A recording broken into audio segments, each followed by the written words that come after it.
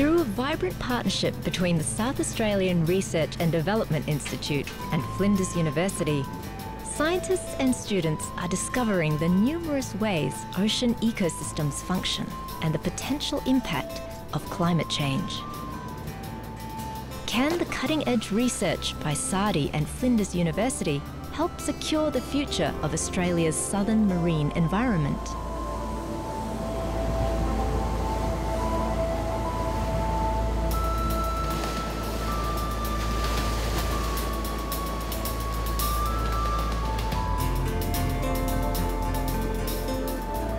The seaside suburb of West Beach in Adelaide is home to SARDI's Aquatic Sciences Centre. In these purpose built facilities, scientists and staff operate the Southern Australian Integrated Marine Observing System. SAIMOS is one of five coastal nodes, but that'll be growing to a, a TASIMOS, so an additional node there.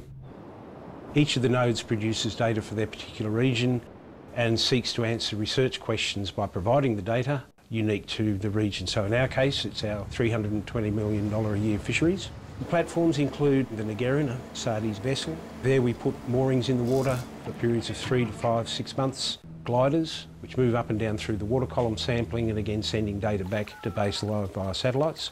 And systems which involve seawater, looking at phytoplankton, zooplankton, nutrients, chemistry, so forth. By studying the ecology of an endangered species like the Australian sea lion, biologists gain a deeper understanding of species interaction in the wider marine environment. We can attach devices to these animals and they can go out and sample the physical oceanography in these areas which we most readily need information about. And these are the areas where there's greatest production and food availability and where there's a lot of ecological interactions.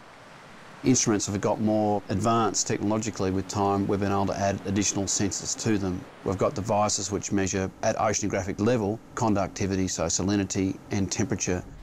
Physical oceanography is vital to SAIMOS. Sean Burns and Dr. Mark Doubell are graduates of Flinders University and now work at SARDI as professional oceanographers.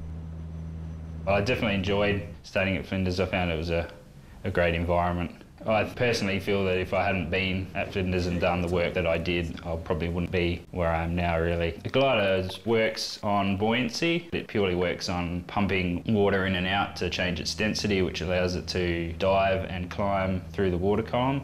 A glider that's active for a month can perform up to 3,000 samples. Temperature, salinity, fluorescence, I've been employed to research more of the oceanography and ecology of Spencer Gulf. And that project's directed at understanding and developing the capability of fisheries and the sustainability of fisheries and aquaculture in Spencer Gulf. We use a number of instruments. These include CTDs, which measure conductivity, temperature and depth through a pressure sensor.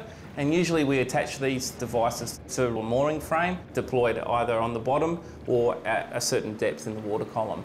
So we go out into the field using ships, we deploy these mooring frames, this brings us back in the real-time data that we can then use to have a look, understand the ecology and the physical structure of the water column, and then we use that data then to help calibrate and develop models to simulate those processes.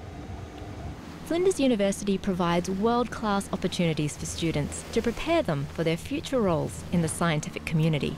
Students step outside the classroom to conduct fieldwork with lecturers and SARDI scientists. My role is mainly to lecture second year topics and third years looking at marine biology, experimental design and statistics. Phytoplankton is very important in the framework of SAIMOS. Also the good indicators of climate change because they have a very short life cycle. They will react straight away to any changes in their environment. With my involvement at Flinders University, I have currently one PhD student and two honor students that come on the Ngerin sampling with us. In terms of their experience, it's really beneficial for them to come with us because they get access to the Ngerin for sampling, but also to a wide range of equipment. What I'm doing is putting an instrument, a probe, in at the top and dropping it down essentially just in a column of water to see how it varies with depth, looking for variation in salinity, variation in temperature and bioluminescence.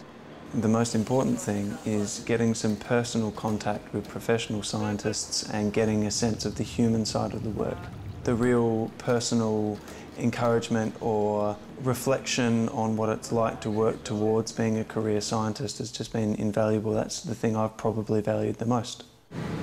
The data that we collect also underpins a lot of the other projects that SARDI undertakes, like wild fisheries, rock lobster research. So it has quite far reaching usage and applications for other areas of the aquatic sciences as well. The teaching research that we can contribute to at Flinders and the marine science expertise that Flinders University staff have that they can bring to the project here, I think works really well. The South Australian Integrated Marine Observing System provides an extraordinary amount of information integral to understanding marine ecosystems. Students developing their skills alongside professionals will help to ensure that Australia's marine environment will continue to benefit from world-class science in the years to come.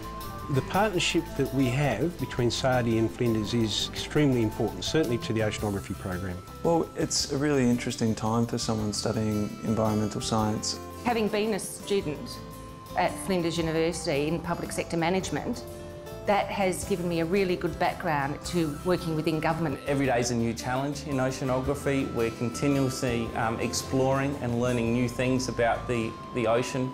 I do what I'm passionate about, so I think it's, it's a perfect job for me.